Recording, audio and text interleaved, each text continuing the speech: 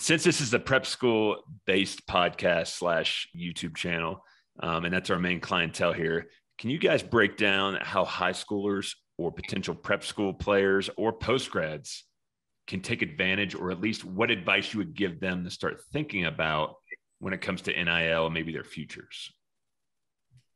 So, Ryan, if you want to hit the legal part of it, and then I'll give the uh, what advice would we give them.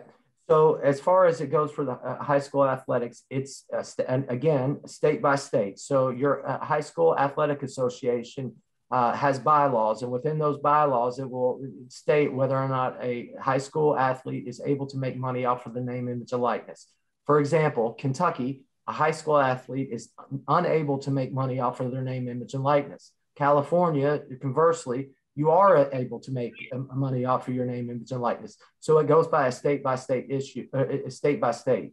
Um, I, I, can, off the top of my head, um, it's and it's different all around. For example, Michigan is a lot like Kentucky, where uh, high school student athletes are not able to make money unless you uh, the individual can petition the high school athletic uh, um, association.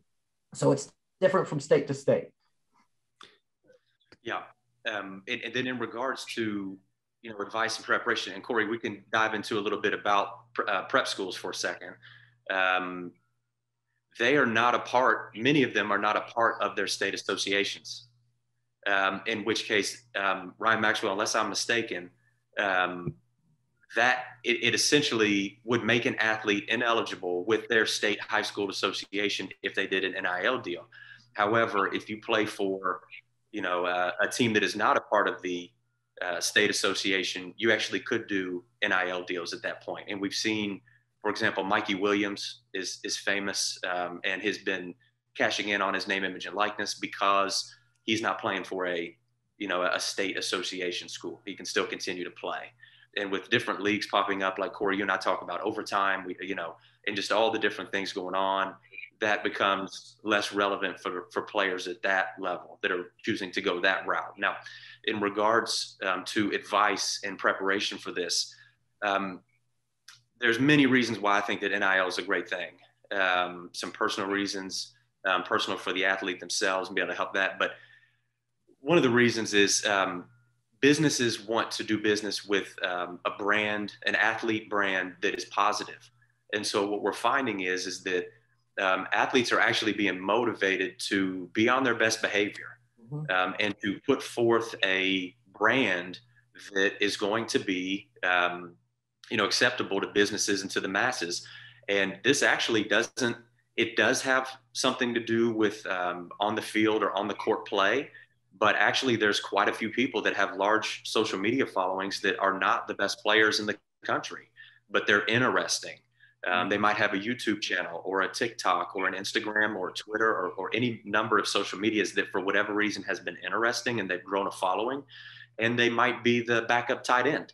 Um, however, because of that and because of that reach, businesses are willing to partner with them on NIL deals just because of their following.